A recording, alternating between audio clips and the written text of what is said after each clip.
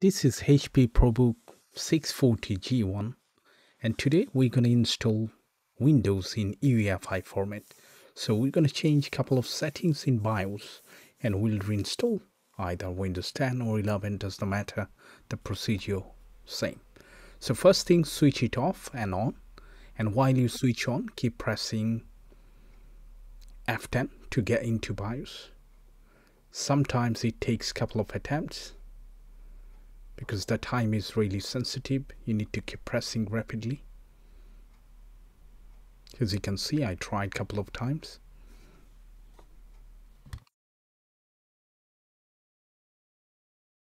So press ESC once and that is the main screen. So now we need to get into advanced option. How are you going to get it? If you press the right arrow it's going to take you directly to advanced and as you can see the advanced option is highlighted. And now if you press enter we can get into the sub menu so as you can see it says boot hit enter. Now we're going to get into secure boot option to enable it. So here you can see there is the option secure boot. We need to activate or enable it once we done pretty much that's all. And we can save these changes. Once we save it and exit it the system is going to restart. And while we restart we need to keep pressing F9 to get into temporary boot option.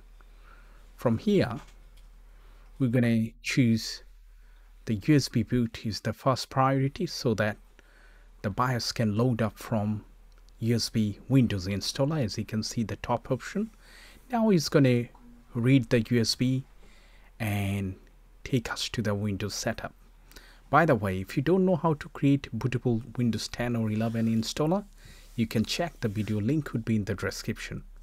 So in this stage it's going to take a couple of minutes which is not surprising because the actual speed depend on how fast is your USB and also your computer system. Alright so it seems like everything's stuck nothing is happening but in the background it's processing all the files and folders. So if you do have any flashlight on your USB then you're gonna see it's blinking means it's something happening in the background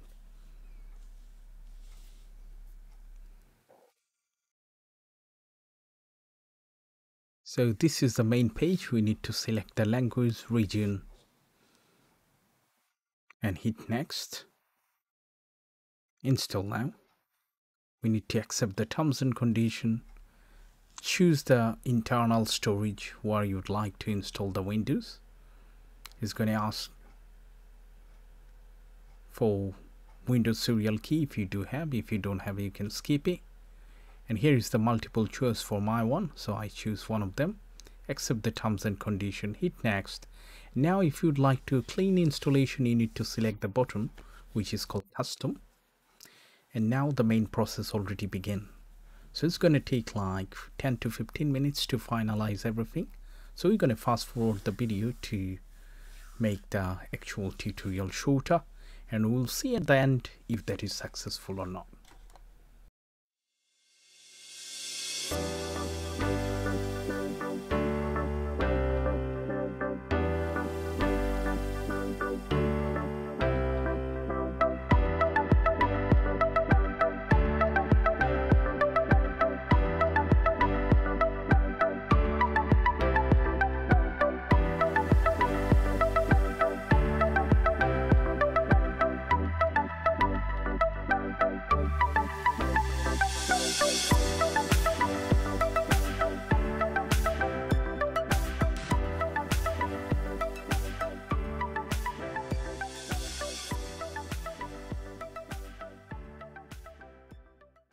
So finally it's done. The UEFI Windows installation was successful.